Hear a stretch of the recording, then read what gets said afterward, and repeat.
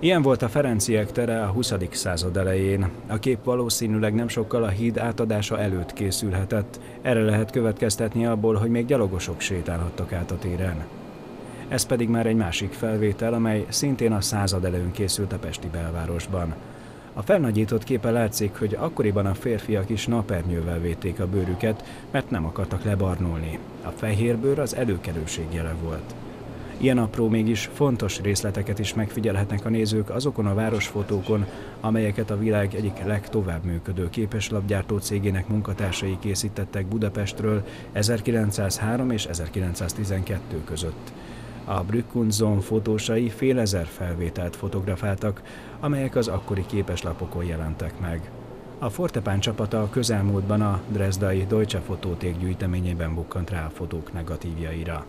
Tamási Miklós, a Fortepán főszerkesztője minden hónapban föltúrja a világ nagy digitális archívumait, hát hogyha új magyar vonatkozású képek kerültek fel szabad felhasználásra. És másfél évvel ezelőtt talált kb. 500 csodálatos Budapest fényképet, amik Budapest első aranykorán idején születtek. Az az érdekes benne, hogy képeslapként ismertek voltak, de ez a képeslapok nyersanyagául szolgáló fényképek nem voltak ismertek, Bezárt ugyanis egy 225 éve működő melyszeni képeslapgyár, és jó állampolgárként az összes nyersanyagot, dokumentumot, fényképet oda ajándékozták a Dresdai levéltárnak. Ők pedig digitalizálták. Esernyővel a kezében repül ez a férfi a Duna felett.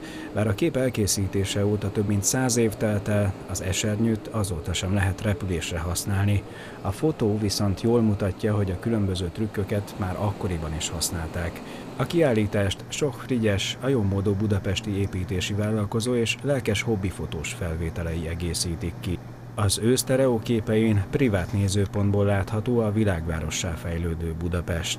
A fő látványosságok, amik akkor a leges legújabb high-tech épületek voltak, ugye az éppen elkészült Erzsébet hídtól, az éppen elkészült parlamentig, természetesen ezek megjelennek, ezek fő témái voltak a, a fotóknak, mind a privát, mind pedig a képeslapokhoz készült képeknek.